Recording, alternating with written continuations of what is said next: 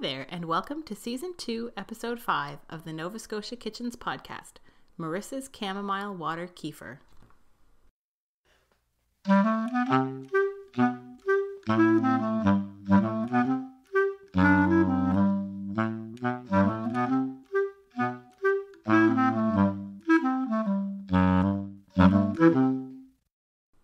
I'm Sherry Graham, and on today's show, you get to visit in Marissa's beautiful farmhouse kitchen with me. I've known Marissa in one way or another online since 2009, and we finally met in person on a gorgeous June afternoon at her farmhouse just outside of Annapolis Royal. My husband and I took our boys and made a bit of a family day trip out of it, and we started out at the Annapolis Royal Farmers Market, and it was so lovely. It really is a great place to spend a summer day. Marissa's kitchen is so bright and lovely, I couldn't help but take many, many, many pictures, so you should definitely visit the website to take a look. She has a beautiful way of arranging her home. Her backsplash in her kitchen is particularly great, and her sink area is just absolutely gorgeous. And I typically don't tell you that you can stay at the homes I visit, but this time you can. Marissa runs an Airbnb farm stay at their farm, and she offers workshops via Experience Annapolis as well and you can follow her on Instagram to see more pictures from her lovely home and the rental suite. Links to everything we talk about are over on the website, so be sure to check it out. I get really excited in the audio today and jump way ahead of myself when we start talking about the water kefir. So just hang on and we'll get back around to the beginning if you have no idea what we're talking about. I've also posted links to much more detailed information on keeping your own water kefir grains going those are all over at novascotiakitchens.com. Marissa's daughters kept us company during the visit, so things get a bit silly at some points. Their giggles are just delightful. So the visit starts with a rooster crowing and the making of tea, as all the best visits do. Did you want some tea? Our tea would be lovely. All right. Do you want to get a couple uh, teacups for me, Cecily? Do you guys want tea? Yes, please. I thought so. Hey, Kathleen. Okay, but let's not wrestle with the teacups I to need break mine. them. Just remember, we're being recorded, so any. Thank you so much for having me. I, I was welcome. kind of like, can I invite myself over and make something for me? Does somebody want to go harvest some chamomile for me? Well, I don't know. what Like, one, There's some. two.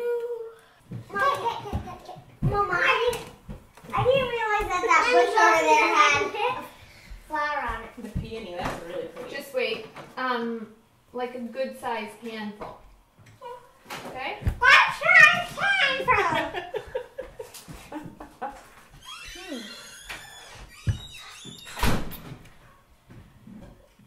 All right. Tell me what we're doing. Well, she's picking chamomile for it. So I guess I'm supposed to like. Just pretend it's an Instagram story.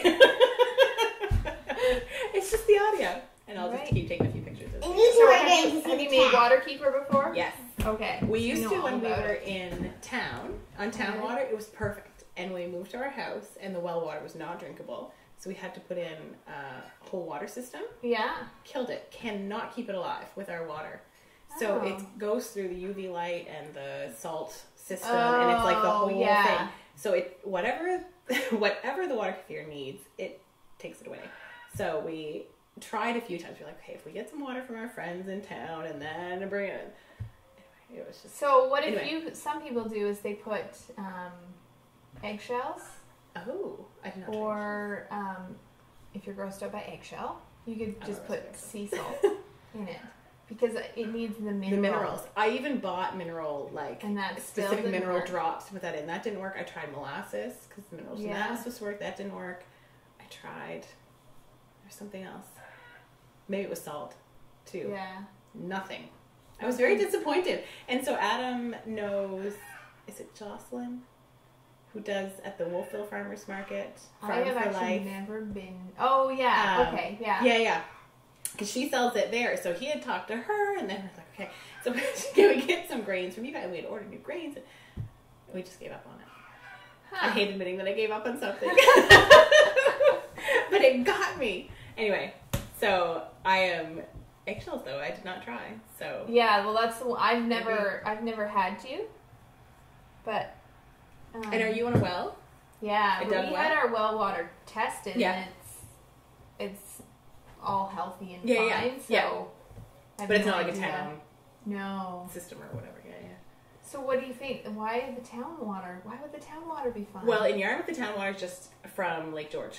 It's just a lake water that's brought Oh, in, so it's not like in a any kind so it's of not been whatever. No, okay. it's just not like- treated. Yeah, I mean it's Oh. cleaned or whatever they have to do Yeah. to make it drinkable, but it's not.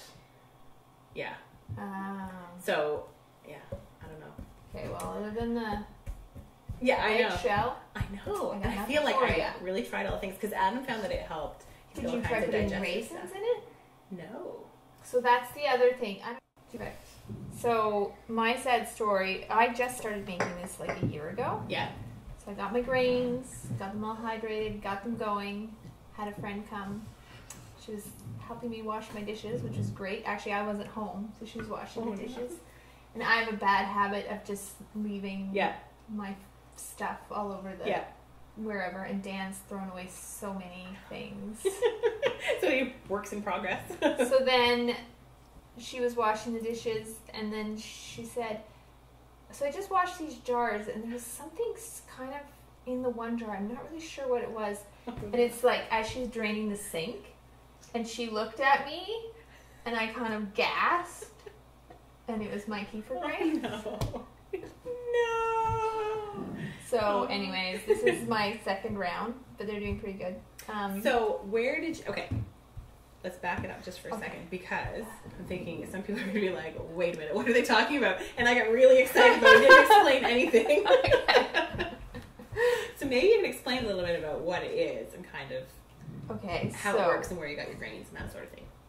i don't remember where i got my grains but i'll send you a link Perfect. There's that. Yeah, there's several It's from somewhere in Ontario. Yes, So it's, I think that's where I got mine. but I'm sure you can get them maybe somewhere in Nova Scotia. So how much how much do you want me to explain? Okay. Okay. think of think of um, an aunt of yours who's listening somewhere Okay. who is vaguely interested in things, but not Okay. like to the degree that maybe you and I are. so we we can start by saying that we probably say it differently because you say kefir, fear and I say kefir, kefir. but they're the same thing. Yeah. Or kefir. Or kefir. There's three. I think they're all three correct. So, anyways, I'm just gonna stick with kefir if that's okay because it's what I'm used. To. It's totally fine. Totally fine. So they're just they're called a grain, but they're not actually. They're a symbiotic culture of bacteria and yeast. Same as like kombucha, Yeah. but just different bacteria. So apparently there's like ten at least ten types of bacteria in here. Yeah. And yeast. Four types of yeast. So essentially, they kind of culture the water. yeah, and they, the sugar feeds them. Yeah. and then it turns into lactic acid, I think it is. Sure. Which turns into something really healthy for your guts, right, girls? Yeah. Used to Good be- for healthy guts. She used to say help to get like a hundred times a day, twenty times. It's so a day. important. It's really important. So At least that's how. we always do like the milk kefir. I don't know if you do. You guys do that? We had no problem with keeping that going, Yeah. but nobody really cared for it in Right. my house. And then we had a lot of it. Yeah. It's kind of like, oh, okay. Yeah. But so we also don't have a cow. We don't have any milk source. We're the girls are not huge fans Yeah. of milk kefir. yeah. Um, yeah. yeah we can So it that. technically actually has more um, bacteria, health Mhm. beneficial bacteria, et cetera, et cetera. But if you don't care for it, or if Um, you can't do dairy, Right, if you can't do yeah. dairy. And this is nice because it's actually like a pleasant summer drink. it really is. And it's slightly effervescent. So if you want some carbonation, it's nice. The one thing that I find challenging with it is you have to switch it over so fast. Yeah. Like, How which can be great. Do you usually do a day or two days? A day or two. So this bottle that we can try out, I left too So- long. So it's Yeah. a little bit like more, a little bit at more acidy than you might like, but What's acid mean? Uh, like you know, has almost has that vinegar flavor. Oh. Oh, just like your um kombucha. Her Yeah, it can, whew, it can get really strong. it tastes like vinegar sometimes. Sometimes. Or other times it's delicious. Yeah, especially when you put strawberry. Add So this one is actually chamomile and lemon balm. So I didn't actually add any uh, fruit juice to this one, but sometimes for the second ferment, I add some juice. So I thought we could go through the process Yes. if you wanted to. That would be perfect. Oh, I love it. Okay. So if you could go get me some sugar, that would be fantastic. I Thank can. you.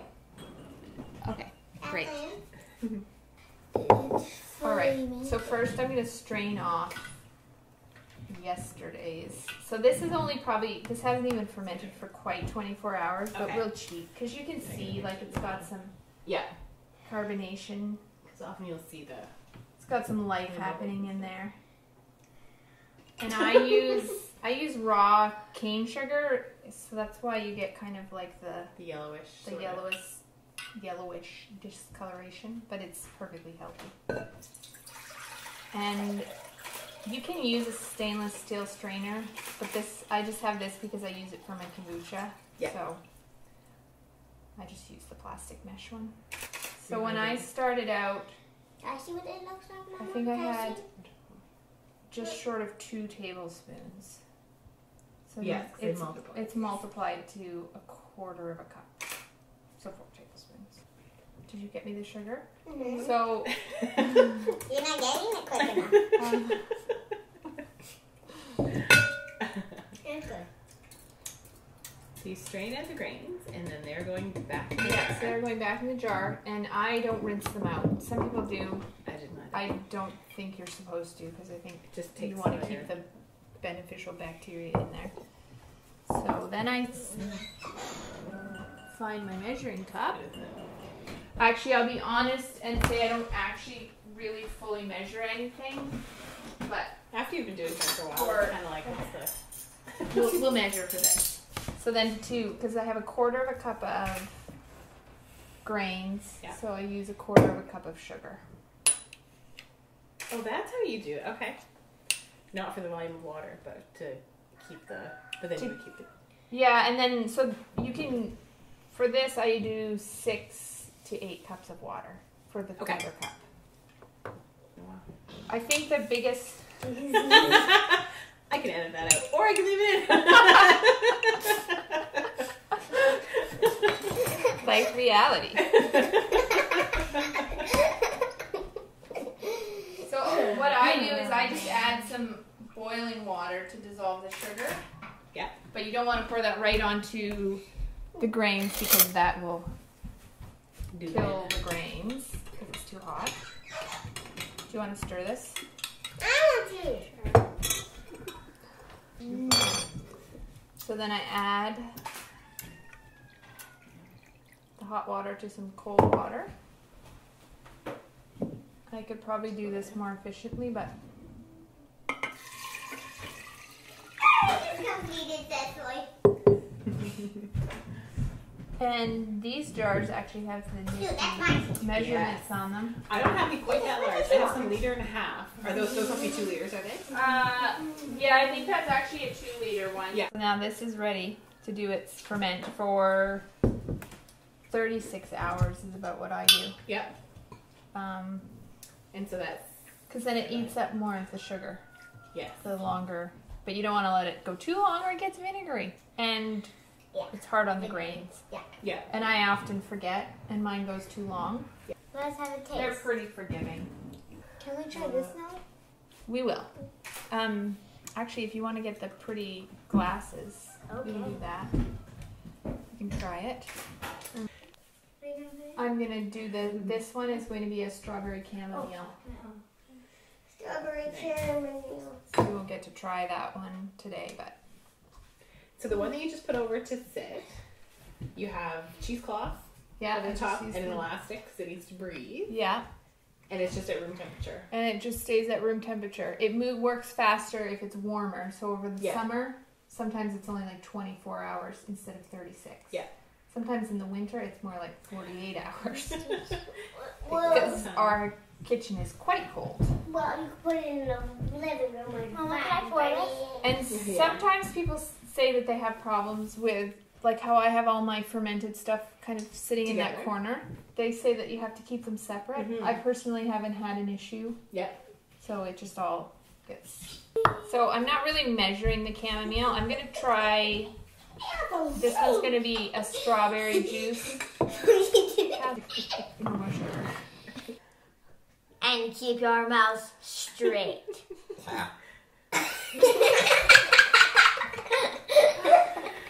Oh my. this is a good Okay. No.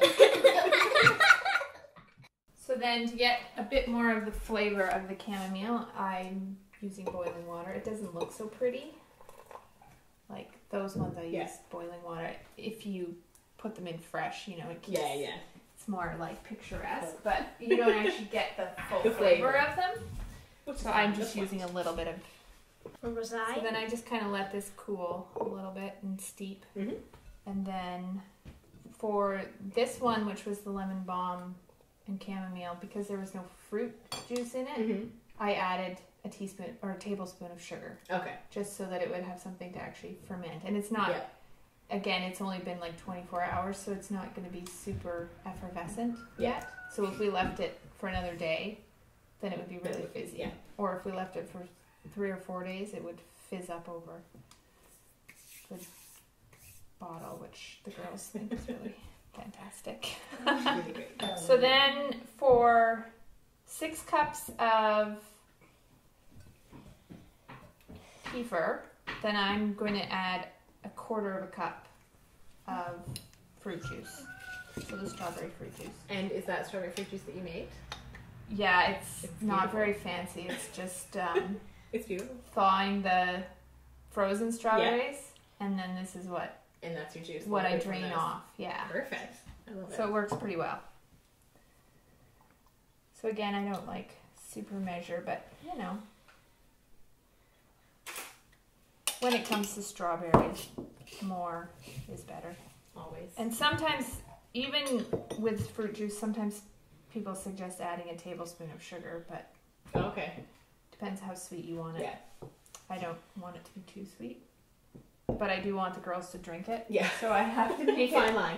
So I have to make it sweet enough that they will actually go for that.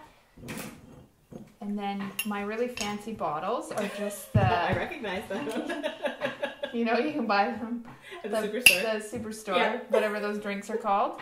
But they seal really w- well, so I actually perfect. went and bought like a dozen of those beverages from time to time. And I can't remember what it's called, but I think it's got the black label and it's President's Choice. Yeah. And it's pop that yeah, they make look fancy. yeah. And they have It is a lot less sugar. And yeah, I got a bunch for half price last Yeah. Oh On the end of yeah. that- If you yeah, look yeah. for when it's half price and there's like a rose lemonade or something like Yes. that. Yep. Yeah. And they actually kind of taste good, so it's not. You don't mind doing. Okay, my funnel isn't big enough for the chamomile to go in, but I am actually going to put the chamomile right in. Okay. And I don't like to put any fruit or herbs or anything into in with my grains because some people do that, Oh. but it yeah. can weaken the grains, and I don't have enough Right. to risk it. So. And this is the perfect way to get the Yeah. flavor. Anyway. So I'm just gonna pour really carefully, and I should do this over the sink. 'cause that would be smart. So I'm gonna go to the sink. Small R.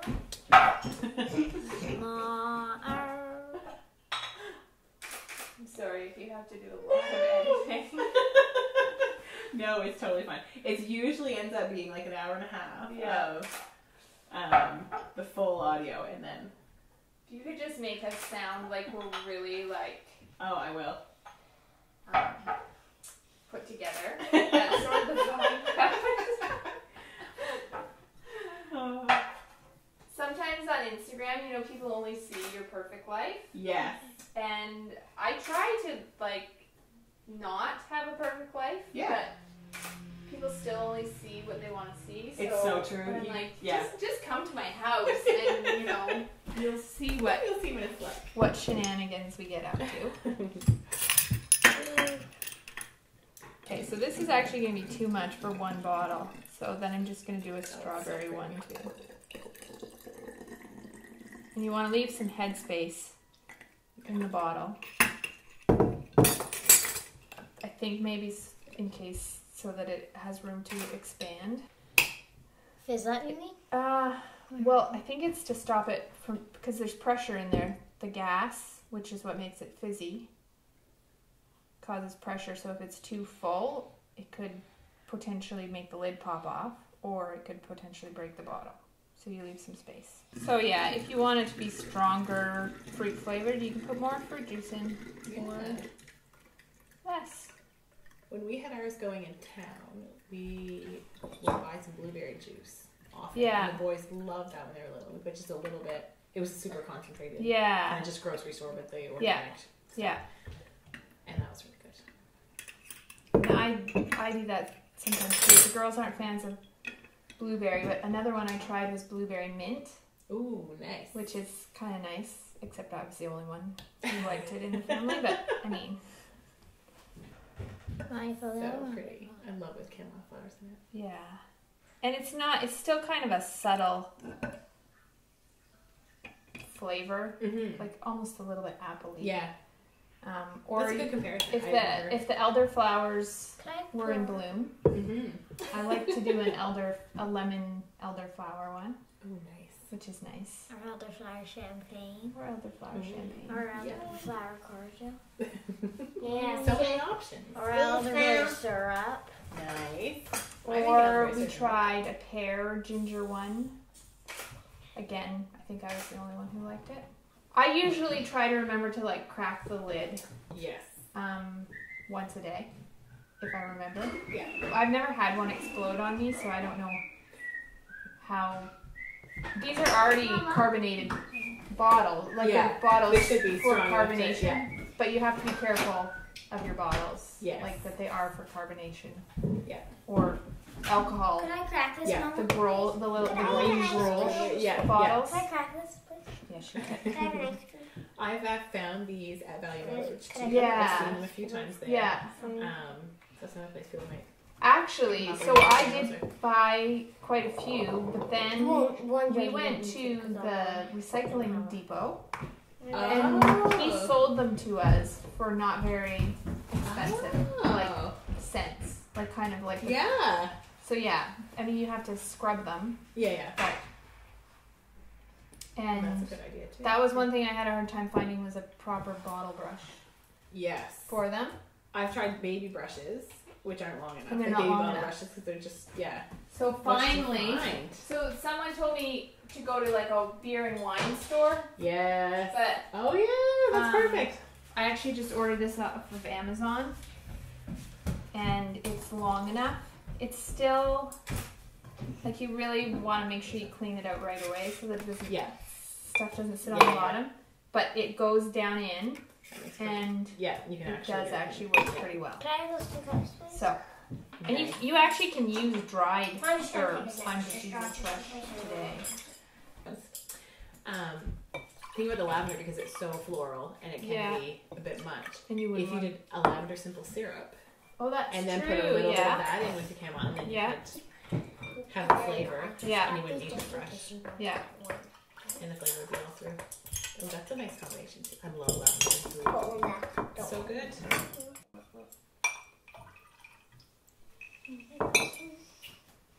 The girls are if you're if you're trying to sell it to kids, definitely the fruit juice Yeah. That'll make the make the difference. The way to go, and a shorter ferment. Perfect. I you think I also try it too? I also find that when it's Way better more sparkling, stuff. Then they like it better. yeah. like You're it, almost it. it always has that little bit You're of a almost it. I'm just having a sharp flavor Yeah. or whatever. Yeah. I don't know. And It's not sparkling, but I find it kind of pleasant. So All right. you won't be forced to drink the whole glass. That's lovely. No, I like it, I think it's kind of nice. and it's very appley. Like Yeah. yeah. Don't I like like it. it. On a hot day, I think Yeah. it's very refreshing. If I did a shorter first ferment Yep. and then a little bit longer Yeah. second ferment, it would have more fizz and Yeah. less fizz. I like that it's endlessly customizable Yes, too, depending on what you like. Because some people might really like the sour yeah, kind of Yeah. punch to it. But yeah, you and you have a beautiful porch for sitting out on. Exactly. Cold drink on a porch. Perfect. Thanks so much to Marissa for welcoming me into her beautiful kitchen. A printable recipe for the water kefir, as well as links to other things we mentioned and photos from our visit, are up at novascotiakitchens.com. A big welcome to those of you who are new listeners. I am so glad that you're here. When you visit novascotiakitchens.com at the bottom of any page, you can subscribe to receive new post notifications by email. So you'll get to see pictures from the visits and it will all magically appear right in your inbox. You can find Marissa on Instagram as marissa.froese, and I will spell that for you M A R I S S A dot F R O E S E. Thanks to Julian Smith for the podcast music and to Adam Graham for technical help and for generally being awesome. And of course, thanks to you for listening. You can connect with me on Instagram at Nova Scotia Kitchens or on the Facebook page. I'll be back with a new episode in August.